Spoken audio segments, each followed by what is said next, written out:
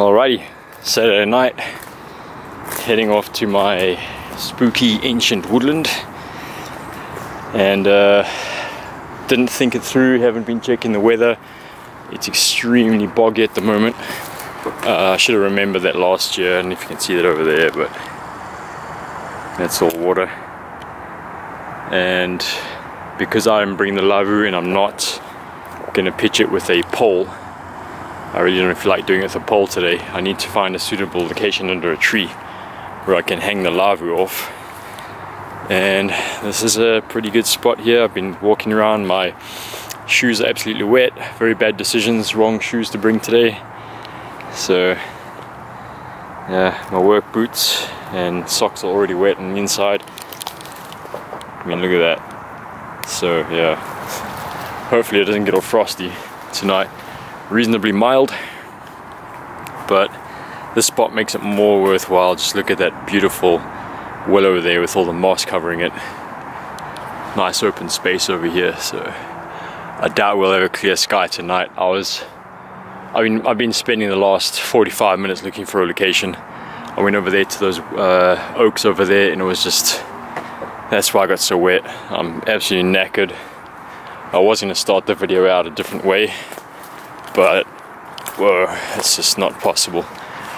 Um, this is a very, very spooky part of the woodland. Uh, I remember the first time I camped in here, I actually arrived here well after dark and uh, I camped somewhere around around here through there and obviously like it was this time of year so you know the sky was open like this look how open this place is I remember coming through here and I spooked something I don't know what and I thought there was a rough sleeper in here because I had to look for wood and I heard something down here, down this way, between these two trees here, just like running off to that side.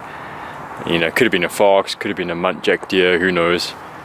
Um, doubt it was someone because it's so dense in there that it would have just been a huge, huge mission for them to get away from me or whatever. So, anyway, the lavvu is sitting.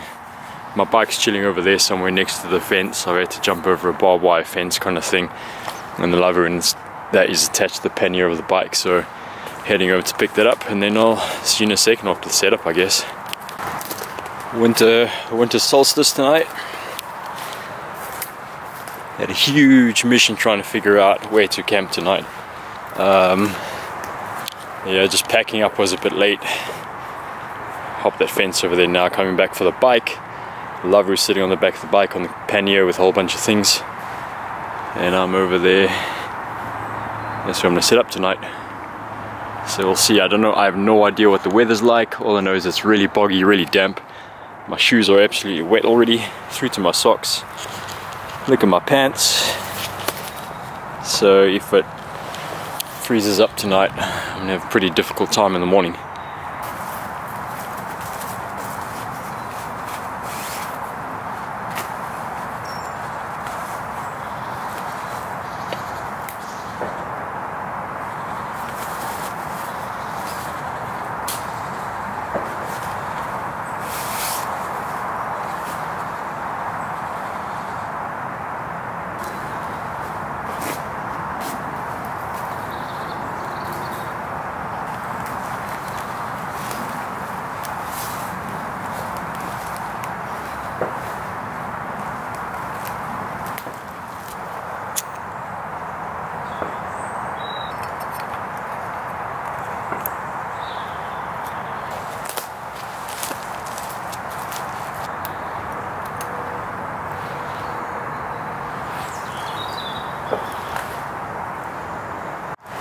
I've decided I'm just gonna get the uh, the stick stove going quickly, the Lixada, which I, what is something I call the AK-47 of uh, budget stick stoves. Um, yeah, I'm gonna get that going quickly, just get a fire going. Uh, I know I still have sunlight left, or daylight, but I'd rather get the fire going first, and then I don't mind setting up with the fire running. Yeah, I can get some uh, food on. I'm pretty hungry right now. So just quickly getting the spirit burner running quickly, the alcohol burner. Um, I'm just gonna boil a cup of water for my uh, my drink, and then dinner tonight is so deer steak, venison steak, marinated in a port-based marinade with Worcestershire sauce. Um, some, you know. Anyway, I'll, I'll add the recipe on my blog. Uh, just a bunch of things thrown in there, a bunch of herbs and stuff, pretty good. Herbs directly from my garden as well, so hopefully it tastes pretty good. That'll be dinner, and then tomorrow, if you stay for the whole video, I have a Norwegian Arctic field ration, a single meal ration. Um, that's going to be partially breakfast, or I'm just to have one big meal, so it'll be a breakfast brunch kind of thing going on.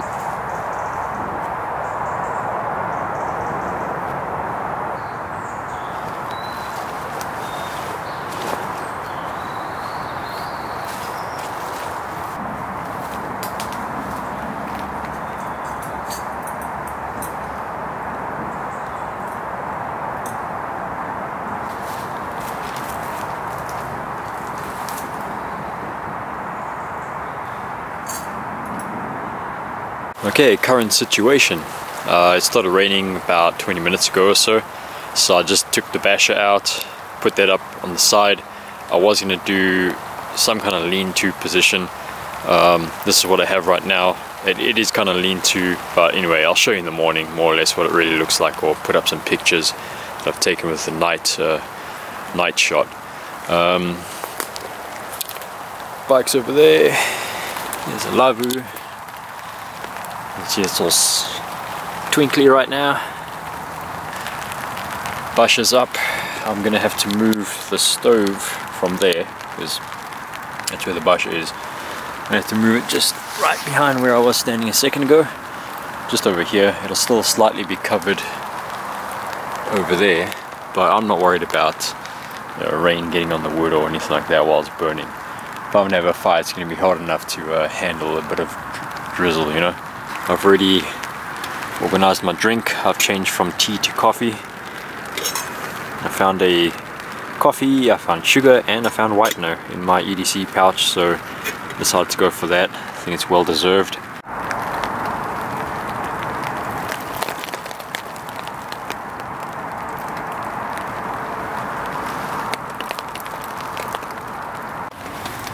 Getting some pretty nice curls out of this hazel over here. Pretty good.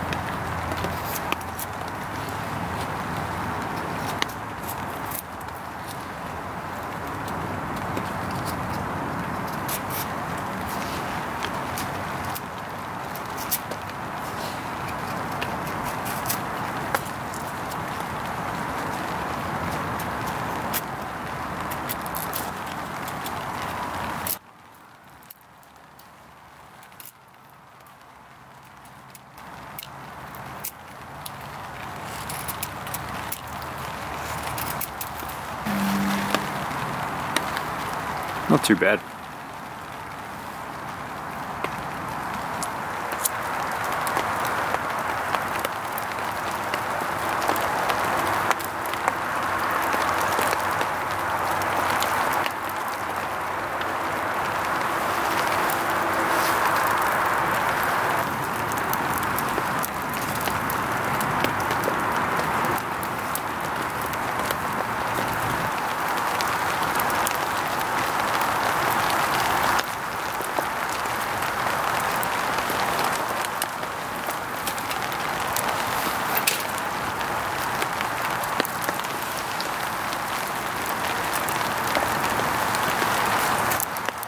It's mostly hazel that I've got and then some leftovers of wood that I carved ages ago. It's only been on a couple minutes, let's take a look anyway, it's quite hot.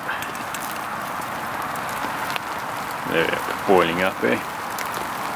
Nice. It's probably been marinating for like about seven, eight hours anyway, so it should be good. Warming it up in there just frying it up a bit more, you know, because uh, don't want it soaking wet from the marinade. Still want it juicy. I do like my uh, steaks and stuff just a little bit more well done than some people. That can come off, and then the coffee pot to go on. What I normally do in this case is I try my best to close up the uh, fire reflector as much heat as possible up there. Oh, look at that. That's pretty cool. But the juice in the bottom there.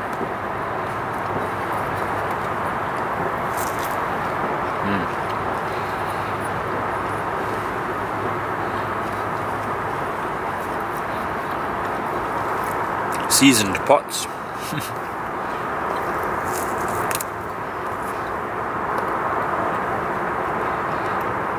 if you're wondering about this, this comes with the um, zebra billy cans, which is pretty worth it.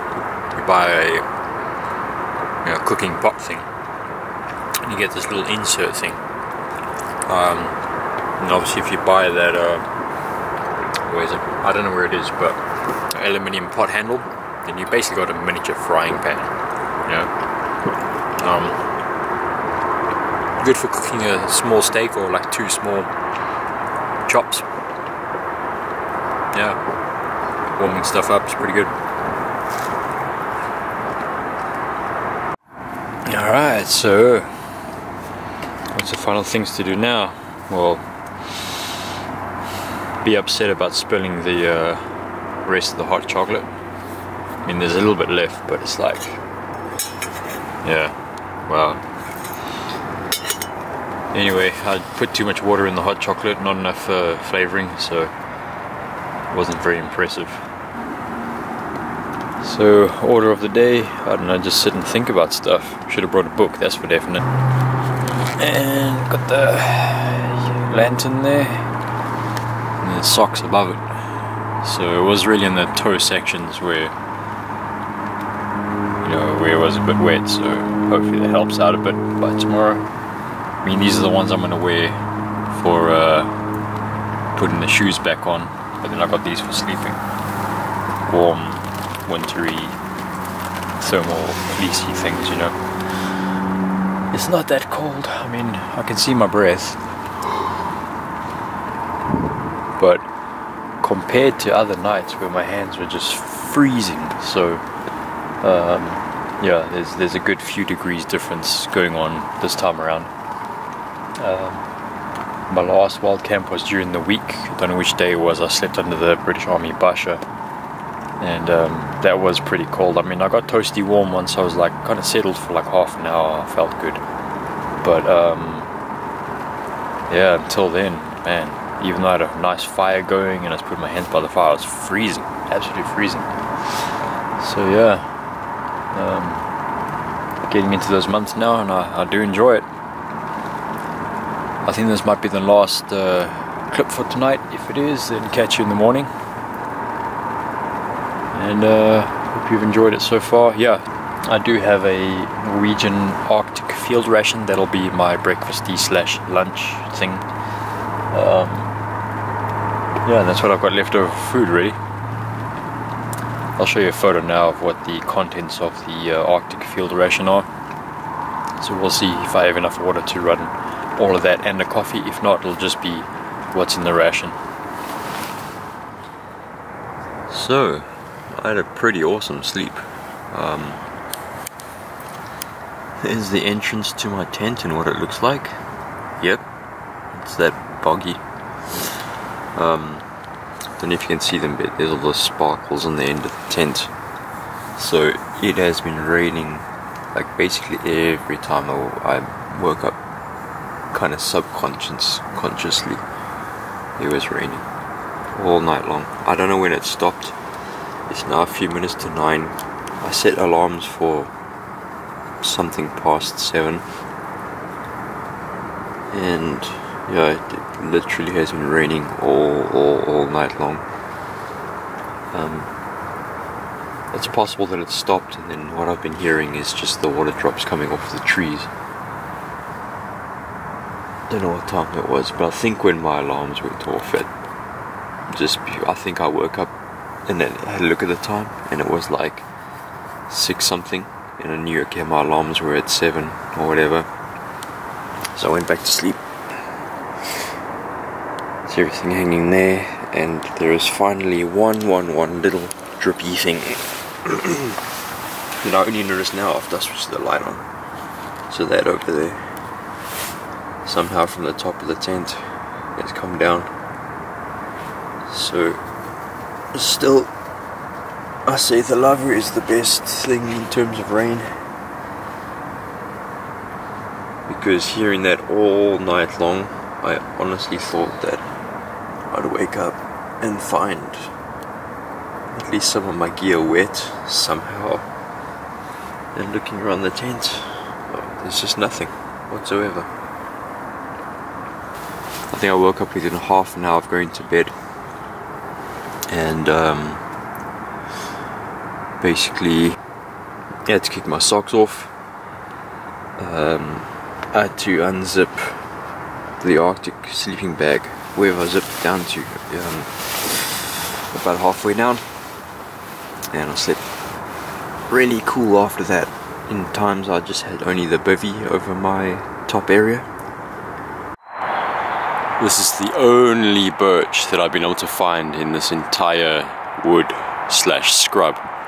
The only one.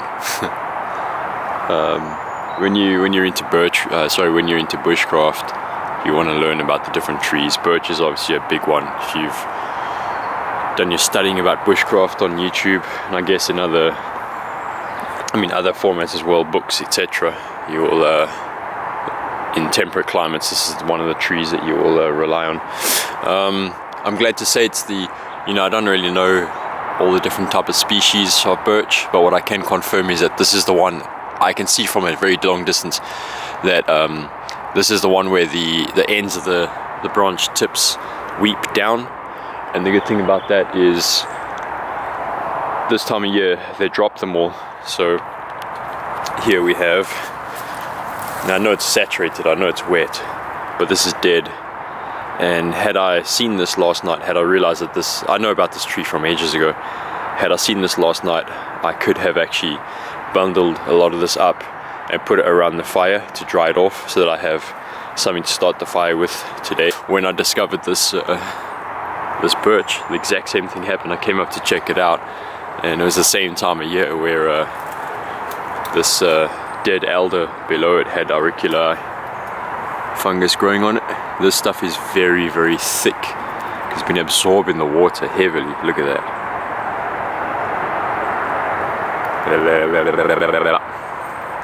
Yeah, there's a lot in there.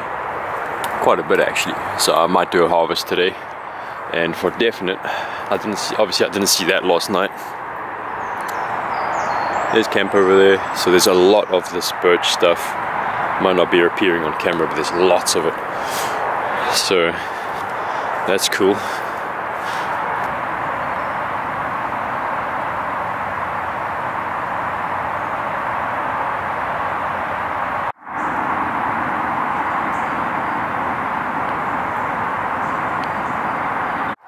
At this stage I don't really care if my socks or feet get any more wet than what they are because um, it's not cold really so it's just uh, an annoying dampness you get you know? That's all.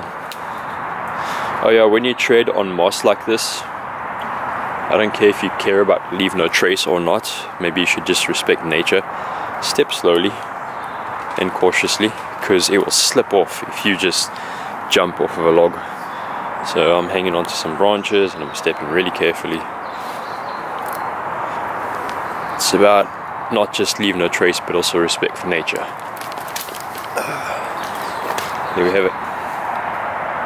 No damage. Wow. I think I'm gonna walk away with a pretty good harvest today. There's some on the ground, I'll leave that stuff. Never realized there was a crabapple tree here. I know of some further down that way. So if I plan it right, I could have a uh, bushcraft jam or something. what, what you have to research when it comes to mycology, that's, that's mushroomology in other terms. Um, what you have to learn is what is it that this mushroom is consuming inside this tree. You know, is it the core? Um, oh, I forgot all the other words, ceph, cephalin, ceph something. Because um, each type of fungi consumes a different part of the tree. Some go for the core, some go for the outer. Um, and obviously once that's consumed, then the fungi just disappears. This elder has clearly been dead for quite a period of time. It's a nice one up there, nice one up there. Because I mean, there's no bark around it whatsoever. So, and I've seen dead branches sitting on small little branch with the fungi growing on it. And uh, so it must be just consuming all the wood maybe.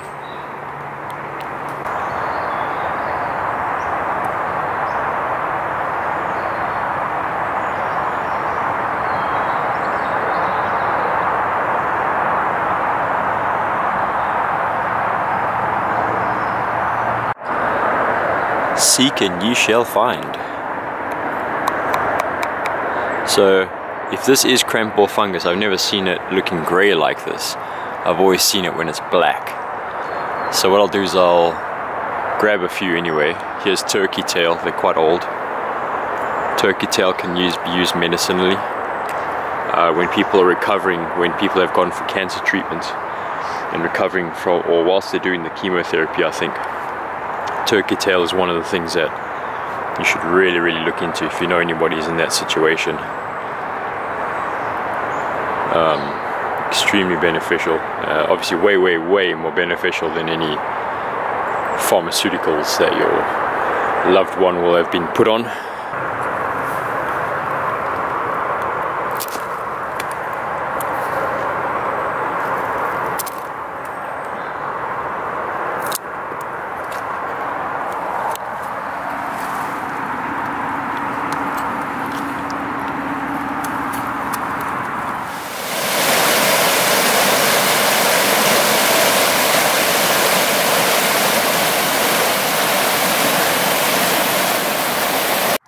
They've been in my pocket for a bit and now the dust is coming off so it's definitely cramp ball. What an amazing backdrop eh? Let's take a quick look at the setup. Obviously the Lavvu held on with suspension. Give you more room in the inside. So that's the British Army bivy. It's encasing my Arctic sleeping bag, which is inside. A new purchase. This is probably like the third or maybe fourth camp that I'm using it. I was really warm last night. I'm hanging the lantern up from the center and then I like to hang things above me that I need quick access to so my head torch is there. Uh, a bit of paracord that I just thought I'd get out of the way. Um, then it's the usual setup in the Lavvu. I've got some kind of ground sheet. This is just a very, very cheap one that I folded over twice. I folded over twice because it's so boggy in here and that meant that I didn't have very good stretching room. So I've thrown my rucksack at the back there and so that my bivy wouldn't get full of mud. So maybe my rucksack has a bit of mud on the bottom of it now, who knows. Um, yeah, then your what I call the surfboard. I've taken a 5mm roll mat, again, like a normal camping section of a large superstore like a Tesco or something and with a silver line and I've cut it in the shape of a surfboard or a skimboard because it works better in a uh, works much better in a hammock that in that shape. Still bends in the sides but just you know doesn't fling out one side. And then that's the uh, base S self-inflating. I think it's made by uh, Highlander. It's a Highlander here super thick very dense high quality and solid, solid piece of kit. And then this time around, I've taken my, so I've got the Sea to Summit Aeros self uh, inflating pillow, inflatable. To stop it sliding around, because what I used to do, I used to put it inside the hood of my uh, my sleeping bag, but it's super annoying because when you turn sideways, it turns sideways and it's like vertical. So you know, just what I do now is I throw it there. I've taken my jacket and I've wrapped my jacket around in all three areas. So the hood has gone over there, the side and the sleeve, side and sleeve, and that keeps this pillow in one position. It doesn't slide around underneath you. If you want, you can try and hook that underneath the pillow as well and tighten it up. And yeah, all night long, no matter what position I changed, this stayed where it was. So that used to keep me awake a lot, uh, like a subconscious level of keeping you slightly awake. So you you may not have gotten the rest you wanted. So, top tip, you learned it here on this channel. yeah, and that's more or less that. Shemagh just for whatever, and then mostly my cooking stuff and camera and whatever stuff, you know. Yeah.